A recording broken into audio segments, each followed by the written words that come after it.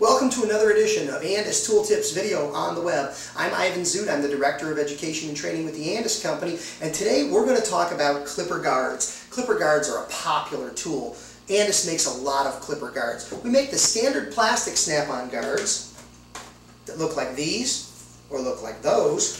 We make our universal guards that fit almost every clipper available out there nine sizes in a clamshell. We also recently introduced our Nano Silver magnetic clipper guards, a revolutionary advancement in the world of clipper guard cutting.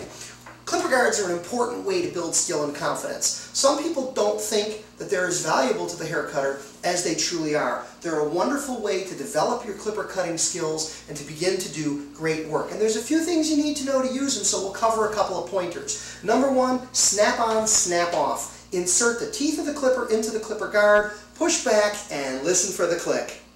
You should hear a good solid click when that locks in place to know that that guard is nice and secure on your clipper. Go for the click. If you're using the spring-loaded universal guards, attach the back of the guard first and pull forward on it till it snaps in place nice and clean and solid so you know the clipper guard is safe and secure on your clipper. So tip number one would be snap on. Tip number two is what we call guard your guard. What we mean by that is this. Anytime you're working with a clipper guard, make sure you've got a finger on the clipper guard. Be in contact with the guard, either with a finger on the corner or maybe the other hand underneath like that. Guard your guard means I've got that guard, I'm in control. Halfway up somebody's head, if the guard pops off, you have a problem, you have a problem, and it can't be the client's fault. The clipper cutter is responsible for what happens at the cutting end of the tool at all times. So number one, snap on. Number two, guard your guard. Number three is what we call rocking your guard. I'm going to bring my friend in to help me out here my friend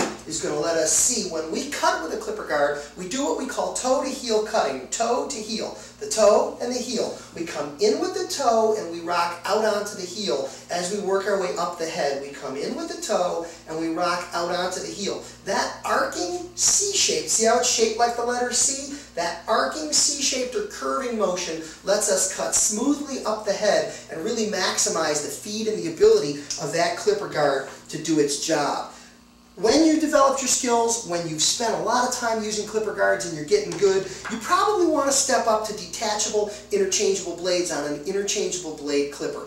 The principles work the same, the way you use the blades and guards are exactly the same, but you're always going to get smoother finish in fewer passes working with a interchangeable blade than you would with a standard guard. Clipper cutting 101, clipper cutting 201. This is where you start and this is where you grow to. Now I know you're thinking, wait a minute, Clipper guy. You've got all those guards and all those sizes and all those lengths and all those numbers, and I can't keep them straight. And I agree with you. It was hard for me too. If you look on the guards, we've got the English measurement. Says 3 eighths of an inch. We've also got those numbers, you know those 1, 2, 3, 4 numbers. And then we also have 10 millimeters, the metrics. How do you keep it all straight?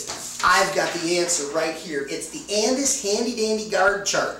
This lists inches, millimeters length, it lists detachable, interchangeable blades, and it lists all those guards. And it's a great cross-reference until you've got it all in your head and memorized. Send me an email right there, expert at andisco.com. Send me an email, tell me you saw the Clipper Guard video on YouTube, and tell me you want me to email you this chart, and no problem, I'll shoot it right over to you. For more information on Andis tools and Andis Clipper Guards, go to andis.com. You know where to find us on the web. We're always there to help, and we look forward to seeing you again here on YouTube at the Andis Tooltips series. And hey, don't forget, create a username and password, click on subscribe, and you'll get these videos emailed to you automatically every time we post them. You can't beat that. Thanks and have a great day.